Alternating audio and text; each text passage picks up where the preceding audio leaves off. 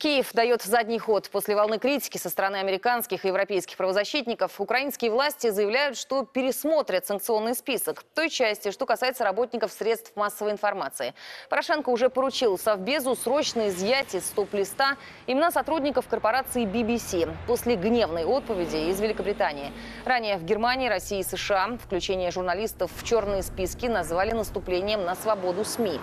Помню, представители масс-медиа – это только вершина айсберга. Под санкциями Киева, о которых было объявлено накануне, почти 400 человек. И политиков, и чиновников, и даже артистов. Ограничительные меры введены и против сотни организаций, в числе которых, например, российские авиаперевозчики, которые выполняют рейсы в эту страну, и банки. Их активы на Украине хотят заблокировать.